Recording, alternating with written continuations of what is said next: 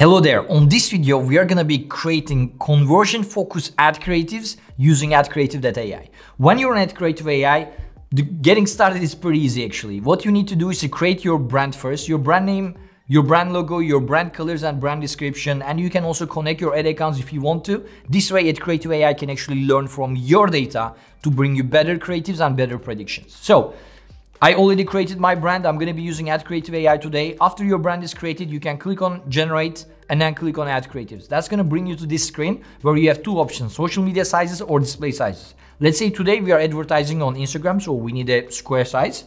My project description already comes from the brand description, so that's ready to go. And on this example, since I'm using Ad Creative AI to generate for Ad Creative AI, I'm going to be writing my target audience are as advertisers. So since my target audience is ready, I can go ahead and write my text or I can use our text AI button. Text AI button is basically generating some headlines and punchlines using artificial intelligence for high conversion rates.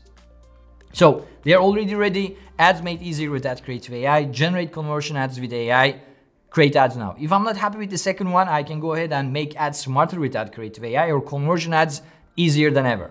So that looks good to me. No need to change anything. Then I have two flows. If I have several different backgrounds, if I have several different products that I want to generate all at once at scale, I can use the second one. But on this example, we are going to be using the first one.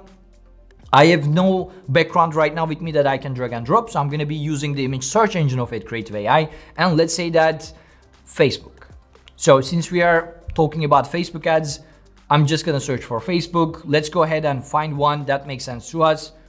This one, why not? I selected it, looks good, the logo is there, and basically that is pretty much it. So let's put our test as a save project. So basically here what I've done is that AdCreative AI already knows about my brand, now my project, now my target audience as well, and which size that I need. So basically AdCreative AI is gonna use all that data to generate conversion focused, ready to use ad creatives. So as you can see, there is over 100 ad creatives here that is gonna be there. And if you like one of them, let's say this design looks really good for you, what you can do is that you can use one of your credits to download that and directly use it. And here you can see that not only Creative AI generated those creatives, but also scored each one of them. So based on our artificial intelligence, these ones actually are um, the ones that we predict that is gonna perform the best. So that's pretty much it. If you like some of these creatives, but if you don't want to download and upload, you can also select them and directly push them to the platforms. And my favorite feature is that if you like one of the designs, let's say you really like this one, you can click on this button, which is gonna go ahead and turn this same creative into several other formats so you don't have to create projects again. So if I'm gonna go ahead and publish this also on stories and Pinterest and LinkedIn, etc., or display sizes, all these creatives are ready, generated. I can directly go ahead and use one of my credits to download it as well. So that's gonna be pretty much it. That's AdCreative AI for ad creatives.